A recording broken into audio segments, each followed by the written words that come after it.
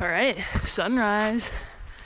Uh, heading up Mount Antero via the Browns Creek Trail. It's nice now. It's supposed to heat up.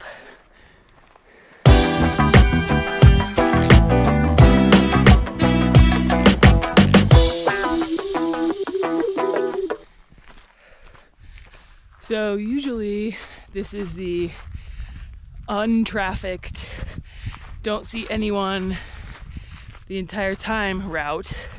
So I've read. But I found out this morning that the High Lonesome 100 foot race follows this course exactly. So they're like, I don't know, like seven or 10 miles behind me. Started at 6 a.m. Uh, I'm sure I'll see them at some point.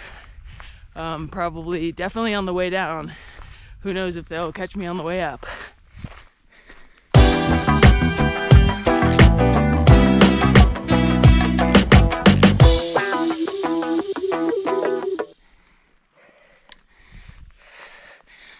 That's one nice thing about the High Lonesome.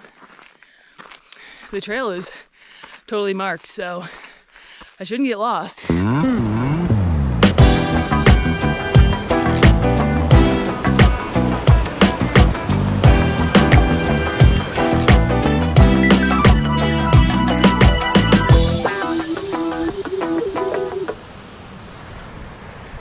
So starting from the other side in St. Elmo, this is like a, a four by four road up. That's actually what most people take up.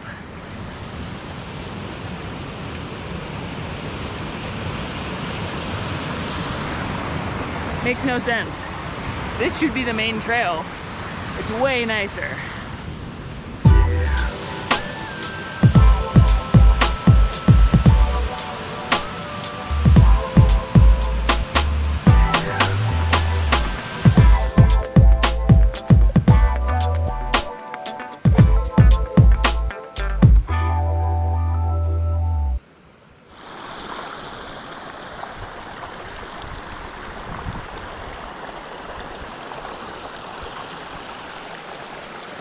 Just soak the hat in snowmelt water.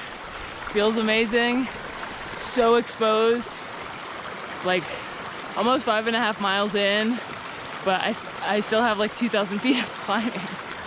Yikes.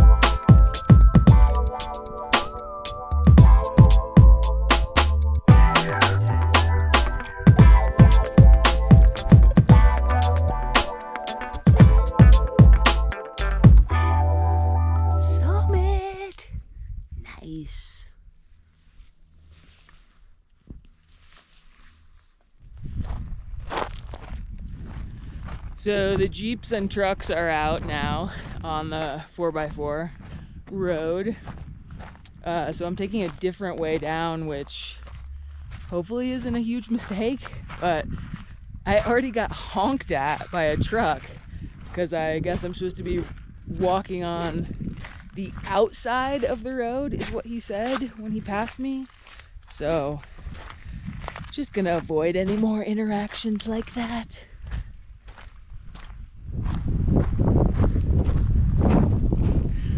Right, just filled up the hydration pouch. So, should be good. Five more miles.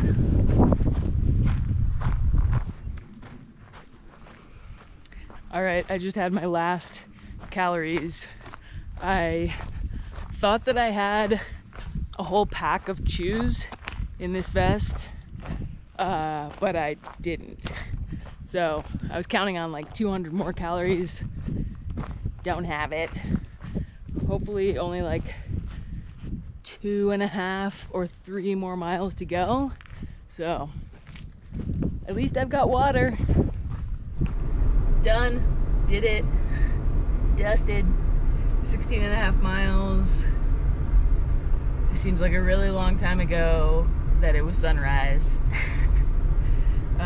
somehow have no snacks in the car as well. So, still hungry. Luckily, this is, I think, the closest 14er to home, so won't be long until I eat.